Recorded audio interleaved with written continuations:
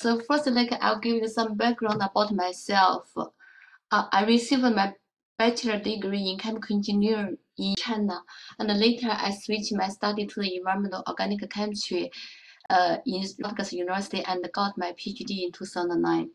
So I'm currently working on the Department of Health in New Jersey as a research scientist. Before I joined the Department of Health, uh, I have been a postdoctoral research associate in Rutgers University and in Georgia Institute of Technology. So my, my research experience has been focusing on the environmental chemistry of the, the pollutant chemicals. Specifically, uh, I have been studying the fate and transport of different environmental chemicals in various environmental compartments, including air, water, uh, center, and uh, now like I'm studying their accumulation in human body. Had been working on the remediation of the contaminated sites. We have a Department of Defense funded project like, as I mentioned earlier, I'm currently working in Department Health. So like like my research focus is about the human exposure to the environmental chemicals. So overall, like the goal of my career is to enhance the understanding of the environmental chemistry of the potentially harmful chemicals and eventually promote the policy policy intervention to protect the environment and human health. The first question I would like to talk about is why we need to study the environmental chemicals. So the, the environmental chemicals into the environment through the multiple pathways as this level technology to remediate the contaminant uh, sites. Diagram shows you can see like it could be released in, into the environment through the, the, the combustion and the incineration and it could also be released into the environment through the improper dumping of the waste. Uh, the general agriculture product discharge a lot of harmful chemicals uh, such as pesticides into the environment. Chemicals enter into the environmental environment go through a lot of physical, chemical, biological transformation processes and eventually cause cause harm to our entire ecosystem like as a so the chemicals move from the environment to human body through multiple pathways, including the ingestion of the, of the contaminated food, uh, the, the drinking the contaminated water, and also you know the inhalation of the contaminated uh, or the polluted air. Furthermore, like the absorption through the dermal contact is also a popular exposure pathway, especially for the volatile chemicals. So next, I would, I would like to talk about uh, what chemicals will be investigated by environmental chemists. So in general, we are interested in two groups of chemicals. First is working in the health department, and my major research focus is how they will impact the human health. This group of chemicals we call the legacy compounds. Based on the name, you could probably already can tell these chemicals has been discontinued in the environmental uh, one of the major reasons for their discontinuing production and application is due to the evidence showing their potential health concerns. So one class of chemicals I have been studying for over 10 years is called polychlorinated biphenyls.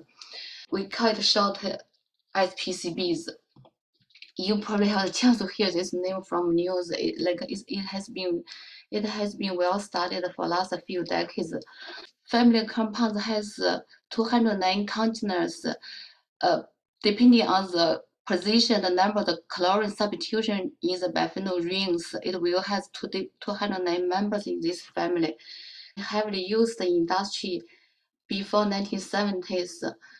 Uh, you will be very surprised to see, you know, there's still a lot of funding to study these chemicals in environment and the human bodies, even 40 years later now. It is because due to their like persistence and like bioaccumulation in the environment, they're just like never disappearing from the environment. Another type of compounds like we, we are studying is called emerging compounds. The emerging compounds are the type of compounds which their like like manufacture and application are still ongoing. However, there's appearing scientific evidence showing their potential health concerns, but not fully proved. So therefore, you know, like the, the regulation still, you know, hasn't prohibited their production application. However, like with like accumulated evidence from the scientific field, uh, if all the robust evidence pointing to their harmful effects, they will become legacy compounds in the future. So one type of these compounds which which are very which might be one of the hardest might be one of the hardest compound class studies called PFAS. I'm not surprising like you may have heard it from the social media a lot. This type of compound has been widely used in the non-sticking cooking wares, the waterproof clothing, and also the you know as used as surfactant and and also firefighting foams. Actually, we are currently collaborating with Rutgers University for a fighter project. So we like we analyze the you know is the firefighters blood. So just want to see you know like. Uh, how much they commute like career like exposure. Here just want to give you give you a glimpse about how we study these compounds in lab. Um, a glimpse about how we study these compounds in lab. In our health department, like we're mostly dealing with uh, like uh, biological samples, including blood, urine, and uh, even saliva, you know, all kinds of like um, like body related, body excreted samples. Uh, so here's like uh, uh, part I have been mainly dealing with uh, serum. Human serum is just like the supernatant of the blood after being centrifuged. Like first, like you know, we'll extract the interest chemicals from the human serum uh, through like a variety of like solvents and chemical reagents. After that, we'll reduce the volume of the samples through the evaporation process, and later uh, will remove the interfering chemicals uh, from the, this kind of like we call the like cleanup process. Uh, more specifically, here we use a solid phase extraction. It means we use this the, the solid phase to extract away the interfering chemicals and only keep the uh, interest target analytes. After everything, uh, all the procedure accomplished, will the last step is we'll analyze in the uh, gas chromatograph coupled with mass spectrometry as a detector. So some of you probably started learning AP chemistry and you will get um, a general understanding about the chromatograph and the, and the mass spectrometry. They are the most powerful modern tools for the detection of chemicals, especially the trace amount and uh, chemicals in the very complicated matrices like like biological matrices, which is in general more, much more complicated than environmental matrices. So after being analyzed in the instrumentation, you will get those kind of this is a typical showing for of the chromatogram you will see. So the chromatogram will show the separate peaks uh, representing each uh, result analyzed from your sample, and you can quantify the level of these chemicals based on the peak area. Just like a very general uh, in like introduction about the quantification of these chemicals. And I also want to, introduce like uh, introduce you about the two projects we have been working on. The first project is the New Jersey Health and Nutrition Examination Survey we call NJHANES. So the overall objective of this study is like we want to establish the first population-based biomonitoring or surveillance study in, in New Jersey. This is followed by a national effort called NHANES, that's U.S. nationwide surveillance. So in that way, like we were funded by CDC to conduct the statewide surveillance study.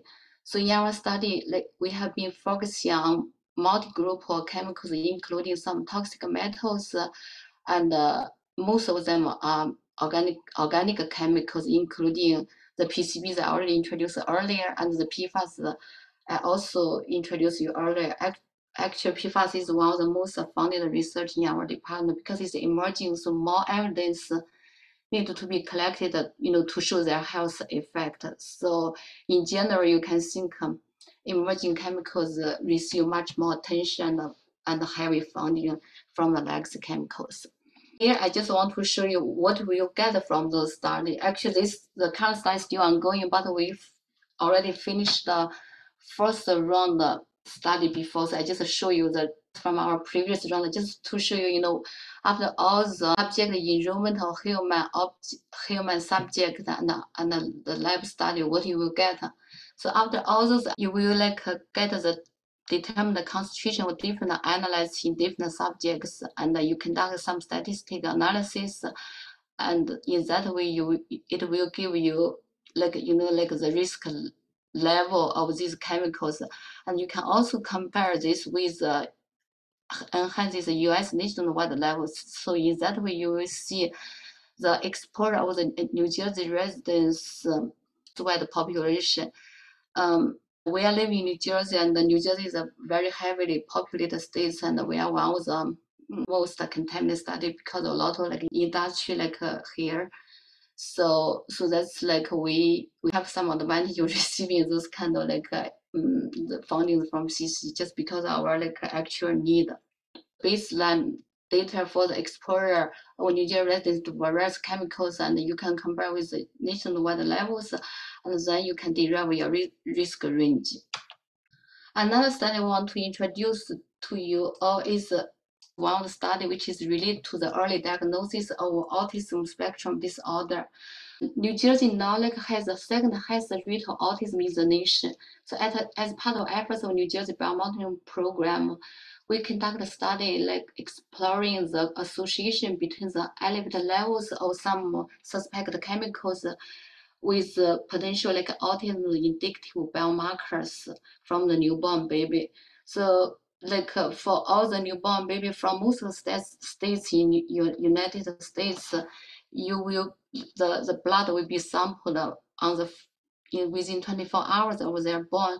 So currently, like I'm working on, you know, how to analyze the, suspected harmful chemicals which will cause AS uh, autism disorder from this like uh, these circles you are, you are seeing here. So like you know establish association between the suspect chemicals with autism biomarkers. In that way, you could uh, diagnose some like newborn baby which has a high risk of having, having autism. In that way, the early therapeutic intervention could be implemented and uh, which could uh, help with the like uh, later like, development delays. For autism, like the early intervention is very critical in for the treatment of the kids.